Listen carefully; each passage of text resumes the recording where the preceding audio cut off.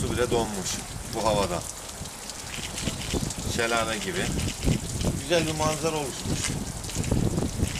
Biz de bu kış gün işte geldik böyle.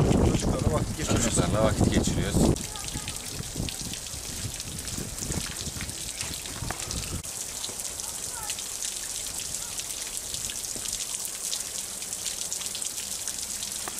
Sular çok güzel.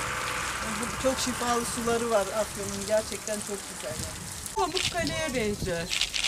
Hüdayi kaplıcaları, Pamukkale gibi travertenler oluşmuş burada da. Burada kalıyoruz Hüdayi'de. Çok güzel. Hava soğuk olduğu için eksilerde gördüğünüz gibi bu taraf buz kesmiş. Ama bu taraf tuttuğu için hala suları orada sıcak. Sıcak sular.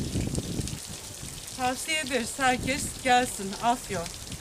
Sular çok güzel. Çok şifalı suları var Afyon'un. Gerçekten çok güzel.